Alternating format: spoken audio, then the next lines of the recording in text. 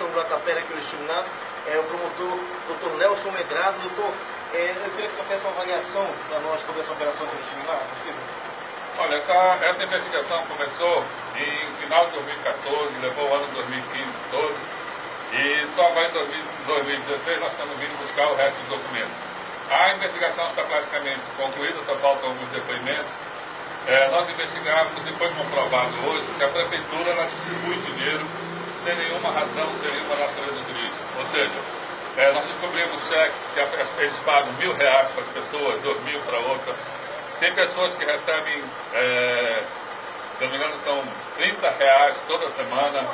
Outros recebem 300 reais por semana, sem nenhuma justificativa, sem nenhuma, sem nenhuma autorização, sem nenhuma natureza jurídica. Ou seja, é um, é um exército de pessoas que recebem dinheiro na boca do caixa da prefeitura.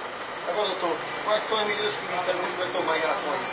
Bom, um procedimento desse é totalmente irregular. Além disso, nós temos notícia que também apagavam débitos de, de devedores de impostos, de tributos é, é, municipais e também nós flagramos a montagem de processos licitatórios. Processos licitatórios sendo montados, sendo, foram flagrados, sendo montados no setor de licitação.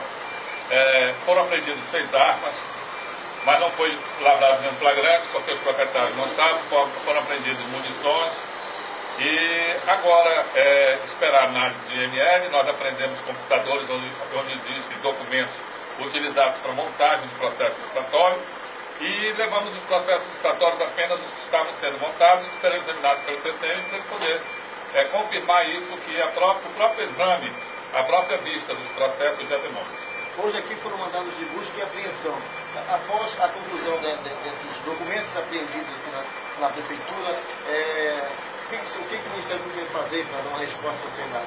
Bom, nós temos procedimentos é, inquéritos civis que, que, são, que estão sendo conduzidos aqui pela Promotoria Local do Minar, pela doutora Sabrina, e que serão oferecidas ações de improbidade. E lá em Belém eu estou conduzindo um processo investigatório criminal, que vai resultar numa ação criminal contra o prefeito. Muito obrigado, doutor. Olha, é, doutor, é, doutor, doutor Nelson, após a saída dos senhores da prefeitura, volta à normalidade? Volta à normalidade, é, nós aprendemos um, um, um, servidor, aprendemos alguns discos mas foi feito um backup justamente para não haver solução, não haver prejuízo ao desenvolvimento da, da, da prefeitura. Se bem que uma coisa é certa, a prefeitura estava funcionando totalmente irregular. Ou seja, o que se nota, e eu não tenho, e eu não, não, não me furto dizer, é que estavam sendo praticados verdadeiros absurdos aqui, contra, é, é, descumprindo todos os princípios básicos da administração pública. Ou seja, não, se, não, não pode o gestor sair distribuindo dinheiro. Ele fazia um bilhete, chegava aqui na tesouraria e pagava R$ 1.500, R$ 3.000, R$ 7.000, R$ 10.000 pagamentos feitos com bilhetes do prefeito. E o que é mais grave, o prefeito está afastado e os bilhetes dele continuam sendo pagos. Tá certo, muito obrigado. Olha, essa operação começou ainda pela manhã, operação denominada Guatapera.